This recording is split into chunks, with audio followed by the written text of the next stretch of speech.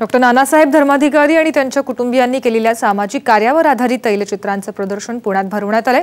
या प्रदर्शनात बत्तीस वैचारिक तैलचित्र आहेत. यामध्ये अंधश्रद्धा विरोध शिक्षण स्वच्छता आणि वृक्षारोपण हे महत्त्वाचे विषय मांडण्यात आलेत. हे प्रदर्शन सात जानेवारीपर्यंत घोले रोड आर्ट गॅलरीमध्ये सगळ्यांसाठी खुलं आहे यामागचा जो मूळ उद्देश आहे तो म्हणजे अंधश्रद्धा निर्मूलन.